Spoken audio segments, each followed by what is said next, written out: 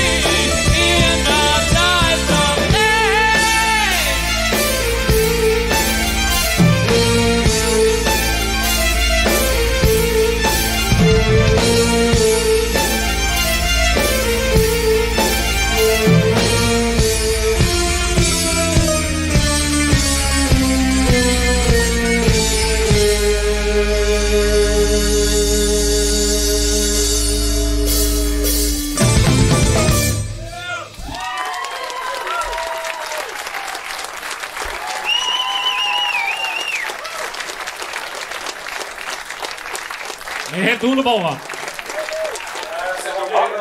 Tjena! Nu är jag alltså här eh, backstage uppe i logen med eh, Sonic Circus. Och eh, vi tänkte bara kolla lite med killarna. Hur tyckte ni gigget gick ikväll? Det var ett härligt gig faktiskt. Ehm, Det är alltid härligt att komma till rätt publik. Som, eh, de kan lite digga med även i 7 delar och ha lite koll på referenser. Ehm, Ja, men det var bra gig, alltså väldigt nöjda. Är det första gången ni är här i Göteborg eller? Ja, det är första gången jag spelar. Stämmer. Det är egentligen, vi har inte haft så hemskt många sådär riktigt prog-relaterade gig. Vi var uppe och spelade lite Tantogård med Beardfish, Violent Silence och haft vi lirat med The Watch också, sådär italienska. Men annars har det mest varit lite vanligt folk och det är inte lika kul. Nej, precis. Det är väl härligt att komma hit till Götet då på en bra festival. Ja, men det är det. Jag tror det är bra, bra klimat för genren här också. eh, I denna stan. Så att vi kommer hemskt gärna igen. så det är bara till att lyssna in sig på oss och inse hur jäkla bra vi är helt enkelt. Och så får man eh, rösta hit oss igen.